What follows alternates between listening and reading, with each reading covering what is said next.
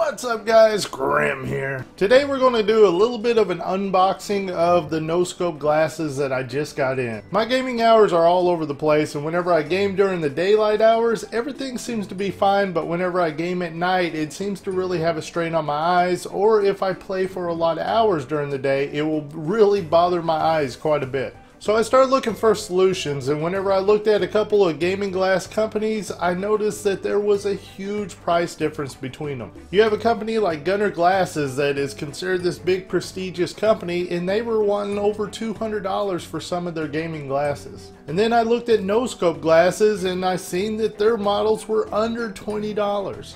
I've worn glasses like these in the past whenever I would go out to the shooting range. I would wear them for not only protection to make sure nothing flew into my eyes, but also it helped whenever you were squinting at a particular target and putting the strain on your eyes. So I knew something like this is what I needed and I went ahead and reached out to NoScope Glasses and said, hey, can you send me a pair of your glasses and possibly a sponsorship? They said we would love to do it. They went ahead and sent me the model of glasses that I requested and here is the unboxing of them.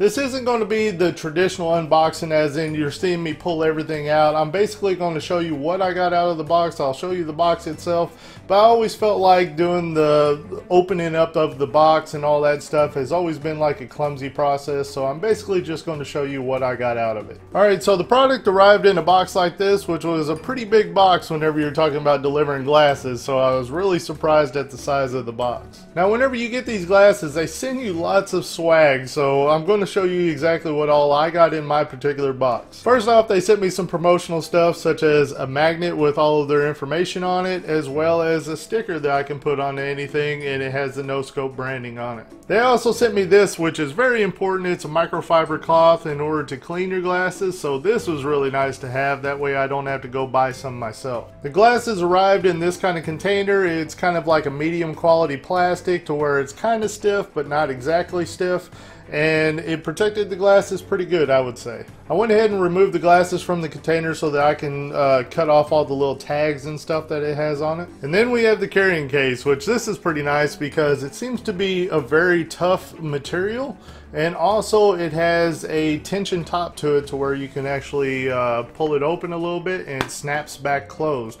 So you can put your glasses in here and have them secured up to where you're not going to have to worry about them falling out. So the particular model that I got was the Andromeda glasses and these are almost like a hipster look. I like this particular style so these are the ones I requested but they have lots of different models that you can choose from. You can look in the description below this video and I'll have a link to the different styles of glasses that you can get. Alright, to start off with, I have to say that these are very lightweight and they are made of plastic. So uh, that's very nice because it rests on your face really well to where it doesn't feel like it's a strain on your face. I've had glasses in the past that whenever I would first put them on, I would notice right off the bat that they poked into my nose. Uh, also, the strain above the ears, it would seem like it just really grinded into the skin above your ears. These are not doing that right now. As you can see, the uh, bridge of the nose right there seems to be a pretty good quality. It's very smooth.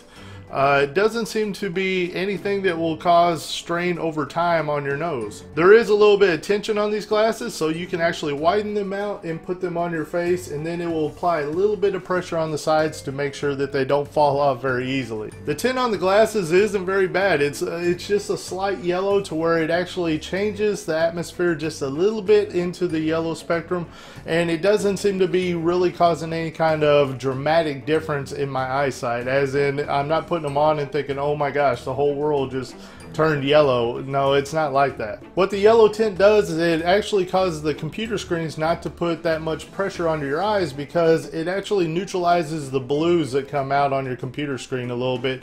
And that's actually what causes so much strain on your eyes is the blue that's in particular pictures and stuff. So what's my overall thoughts on these glasses? I think that these are pretty much the same type of glasses that you would get in any other market as in uh, doing the job of reducing the blue from the computer screens and stuff like that.